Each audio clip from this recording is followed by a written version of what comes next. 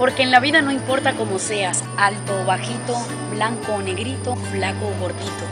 Lo importante y fundamental es tener la verdadera vocación, el verdadero propósito de ser humano y de aportar valores imborrables en la existencia del mismo. ¿Y tú qué estás haciendo para cumplirlo?